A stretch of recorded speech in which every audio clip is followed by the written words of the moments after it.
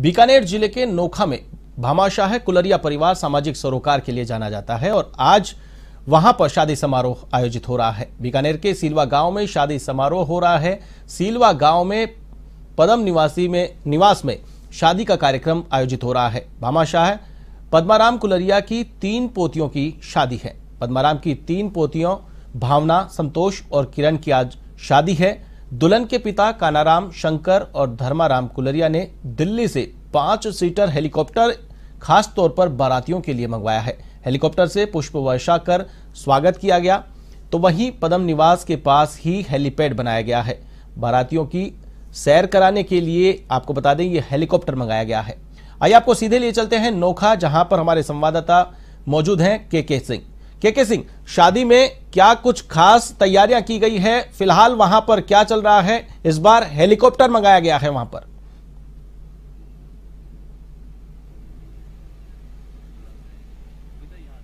देखिए, बताना चाहूँगा, राजस्थान के ही नहीं, पूरे देश के मामाशाहों में से एक संत पद्माराम कुलरिया जो कि देवलोक गमन हो चुके हैं उन्हीं का परिवार है उन्हीं के परिवार के द्वारा एक बड़ी शाही शादी का आयोजन हो रहा है जिसमें तीन पोत्रियों की शादी हो रही है। और यहाँ पर आज दिन भर हेलीकॉप्टर से ग्रामवासियों के लिए बड़ी एक, एक तरह से रोचकता भरा दिन रहा।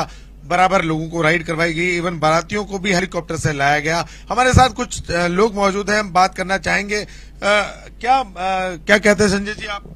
जी आ, सबसे पहले मैं ये कहना चाहता हूँ कि आज देखा गया है कि जितने भी गाँव हैं वो शहरों की तरफ़ दौड़ते हैं। लेकिन ये एक गो सेवी संत पद्माराम जी कुलरिया इनका परिवारों के इस गाँव के प्रति जन्मभूमि के प्रति प्रेम कितना है? देखिए कि आज मुंबई जैसे नगर में हमारे इंटीरियर जगत के सबसे बड़े इंटीरियर का कार्य करने वाले भामासा दानवीर परम गोसेवी संत पद्माराम जी की पुत्रियों का आज शादी में आप देख सकते हैं कि यहाँ पे इन्होंने क्या क्या कुछ खास सजाया गया है यहाँ पर? अगर हम बात करें तो कहाँ कहाँ के आर्किटेक्ट वगैरह बुलवाए गए हैं? क्या कहेंगे? जी इसके बारे में यहाँ के जो जोधपुर के सबसे मशहूर टेंट के के सिंह क्या कुछ खास इंतज़ाम इस शादी समारोह में किए गए हैं? क्या कुछ आप देख पा रहे हैं?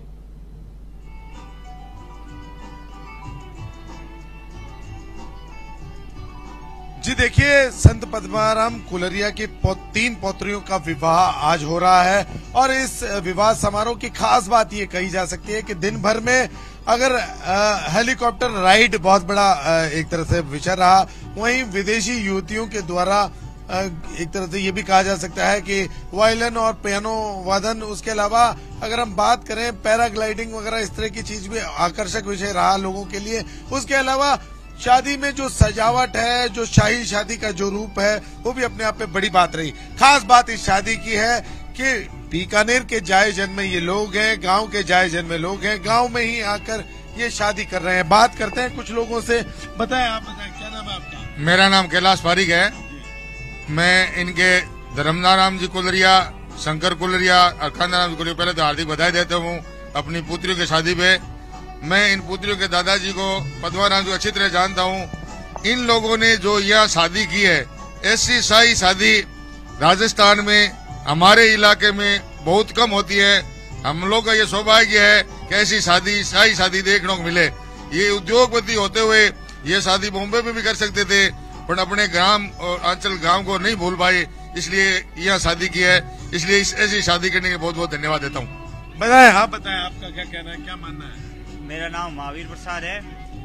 आज से सौ साल पहले समुद्र के किनारे बॉम्बे में ताज होटल बनाया था। उसकी आज अनुकृति, ताज होटल जो आप पीछे देख रहे हैं, उसकी अनुकृति आज इस बीकानेर में, नोखा में, सीलवा गाँव में इस धरती पर उकेर दी है।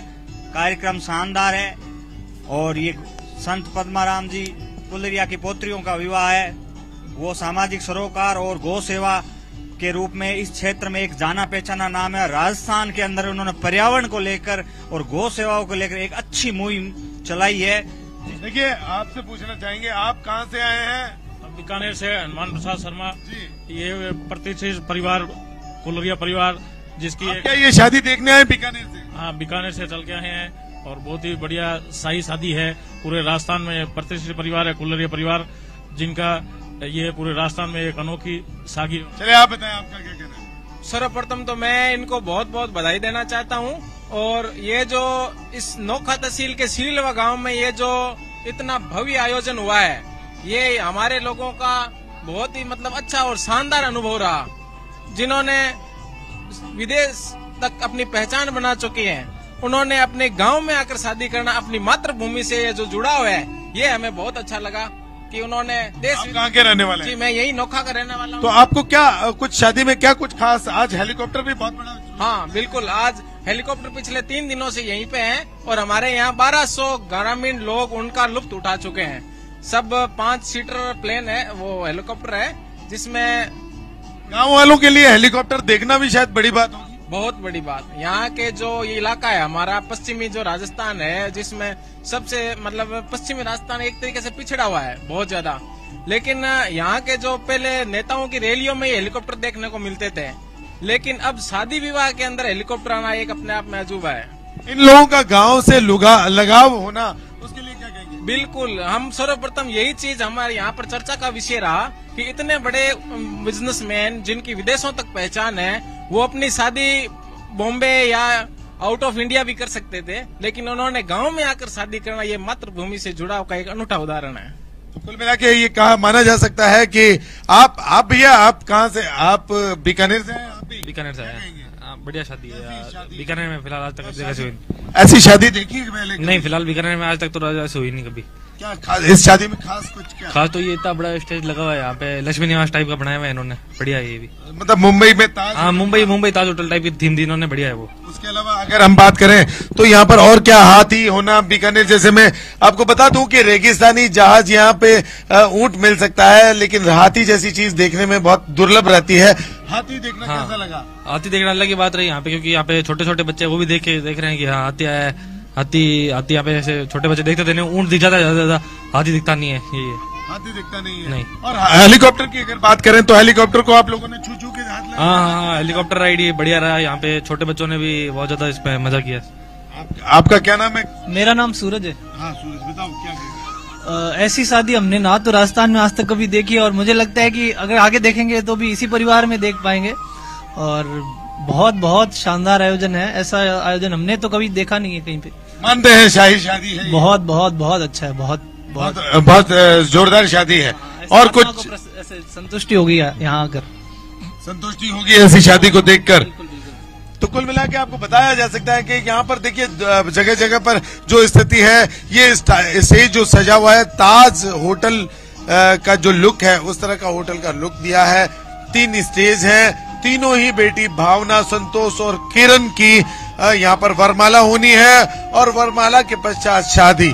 कुल मिला के बहुत बड़ा इवेंट कहा जा सकता है। बीकानेर ज़िले का बड़ा इवेंट कहा जा सकता है। जी आशीष।